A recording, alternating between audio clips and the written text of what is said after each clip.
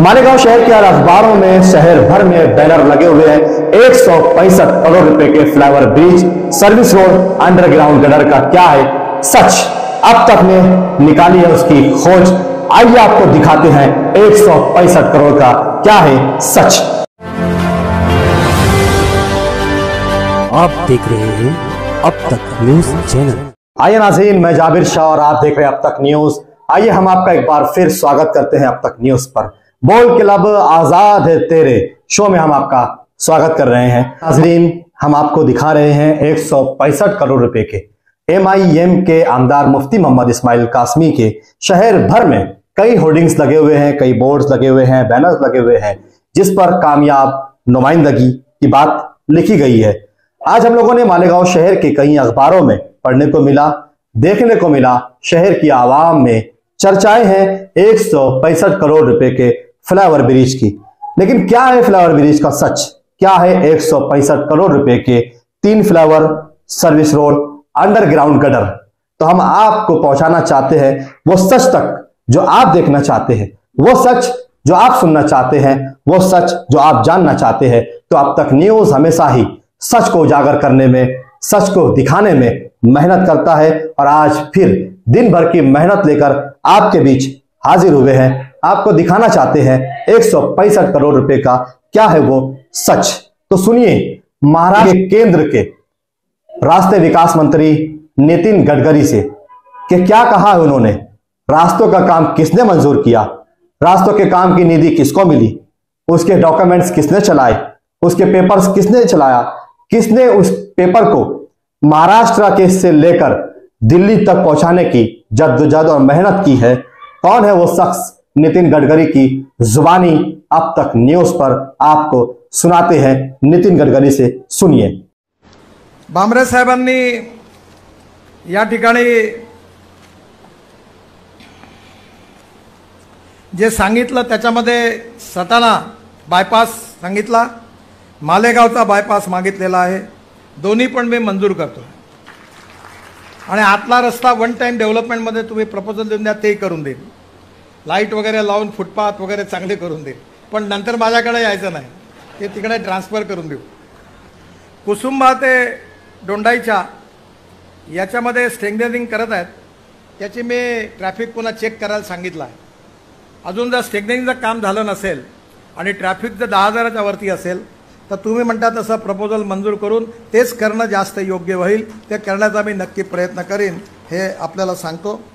अजून काही नॅशनल हायवेचे जेवढे कामं सुटले असतील ते माझ्या लक्षात नसतील आपण मांडलेले तेवढे पण मंजूर करून टाकीन हेही पण सांगतो.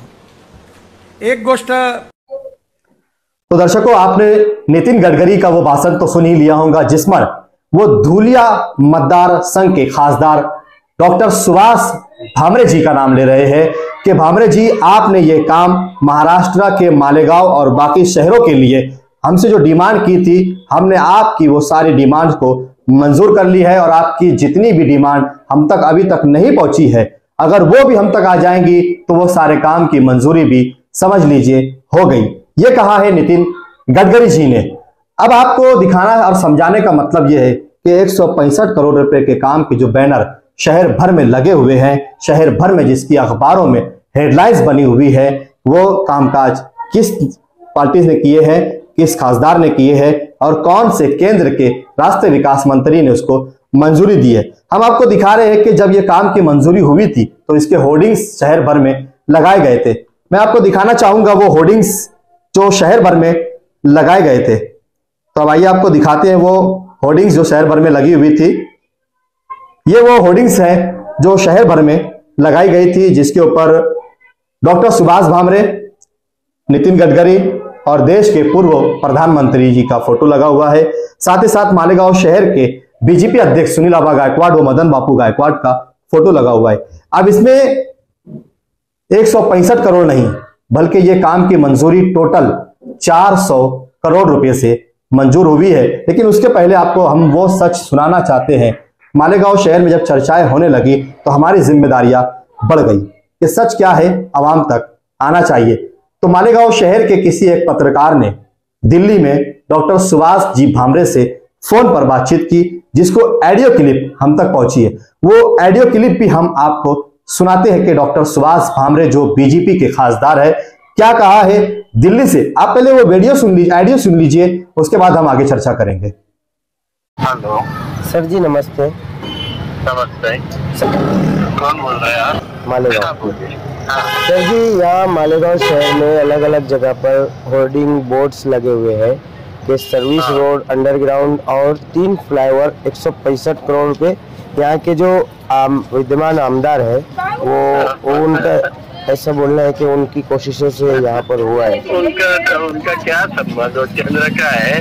मैं उसकी आपको डिटेल में बात में शाम तक देता हूँ। सर जी मेरे को जानना ये था कि आप भारतीय जनता पार्टी से जुड़े हैं। आप दो मरतबा आप मेंबर ऑफ़ पार्लियामेंट बने। तो इसमें आपका कहाँ तक का हिस्सा है? ए हमने किया था। गडकरी साहब जब आए थे ना जी।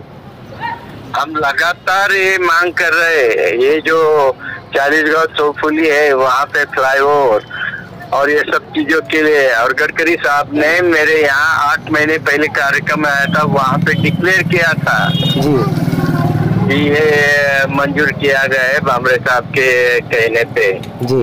मैं सब डिटेल देता हूँ आपको। मुझे। अभी मालूम पड़ा मैं दिल्ली में हूँ। जी।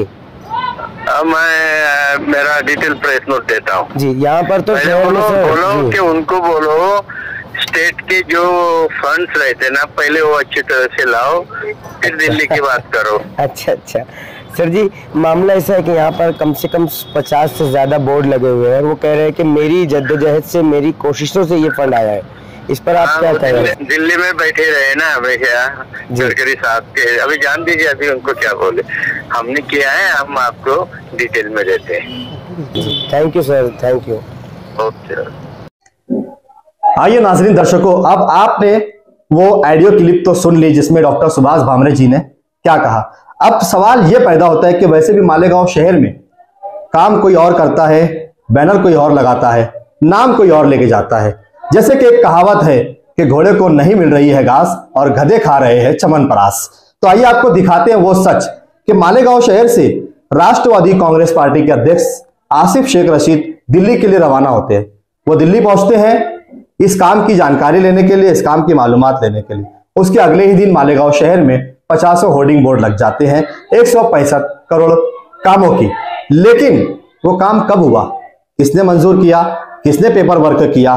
तो हमने जो आपको वीडियो सुनाया, जो आइडियो सुनाया वीडियो का सच हम आपको दिखाते हैं, ये वीडियो कब का है?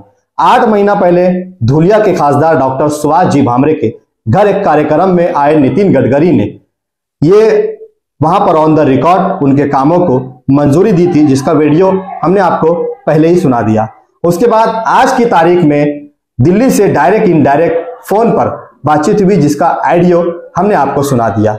अब फैसला आपको करना है कि यह काम शहर के एमआईएम के एमएलए मुफ्ती मोहम्मद इस्माइल कासमी ने किया है, या राष्ट्रवादी कांग्रेस पार्टी के सदर आसिफ शेख रशीद ने किया है। आपको फैसला करना है। हमारा ओपिनियन तो यही बनता है कि ये काम ना एमआईएम ने किया है, ना राष्ट्रवादी के आसिफ शेख ने किया है।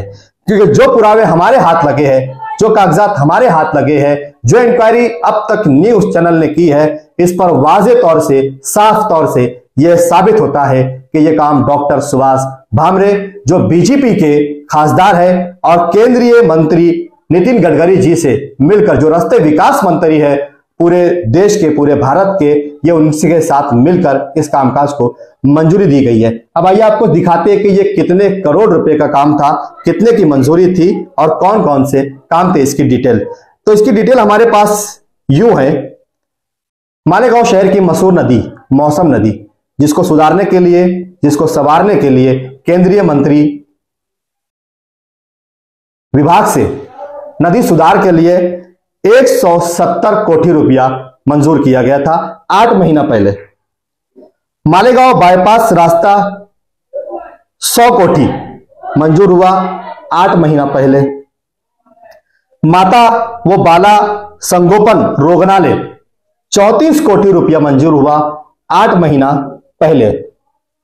चालीसगांव फाटा उड़ान पुल 40 कोटी रुपया मंजूर हुआ आठ महीना पहले।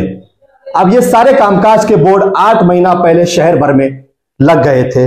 आठ महीना पहले नितिन गडकरी जी ने ऐलान कर दिया था। आठ महीना पहले इस काम को मंजूरी मिल, गई थी। आठ महीना पहले धुलिया की मतदार संघ के खासदार डॉक्टर सुभाष भामरे ने मालेगांव शहर बीजेपी कार्यालय पे सुनील गायकवाड़ की मौजूदगी में पत्रकार परिषद ली। पत्रकारों को पूरा डाटा दिया, जिसके कागजात और प्रेस नोट अब तक न्यूज़ चैनल के पास भी मौजूद है। अगर कोई इसकी जाँच करना चाहे तो वह हमसे संपर्क करके उस प्रेस नोट के कागजात भी ले सकता है। बताने का मकसद यह है, हम इस शहर की जनता को सच दिखाना चाहते हैं। इस शहर की जनता को जगाना चाहते हैं। ये नहीं कब तक झूठ बोलकर इस शहर में राजनीति करते रहोगे, कब तक झूठ पर इस शहर में सियासत करते रहोगे। धुलिया के खासदार ने सीधा सीधा ऑडियो क्लिप में कहा कि महाराष्ट्र की हुकूमत से मिलने वाला फंड तो पहले सीधे से लेकर आ जाओ, फिर राज्य और केंद्र के मंत्रियों से फंड लाने की बात करना, ये एक बहुत बड़े चैलेंज की बात है कि महाराष्ट्र की सरकार से जो फंड नहीं ला सकता, वो केंद्र की सरकार से फंड लाकर इस शहर का विकास, इस शहर का डेवलप कर सकता है? क्या ये बात आपको गवारा हो सकती है? क्या ये बात आप मान सकते हैं? यह फैसला इस शहर की जनता को करना होगा। अब मेरा सीधा सवाल इस शहर के एमएलए, जो एम आई एम के एमएलए मुफ्ती मोहम्मद इस्माइल कासमी से है, कि अगर आपके पास एक सौ पैंसठ करोड़ के कामकाज के अगर पेपर है, आपने अगर ये प्रोसीजर चलाया है तो आप इस शहर की जनता को वो कागजात दिखाइए।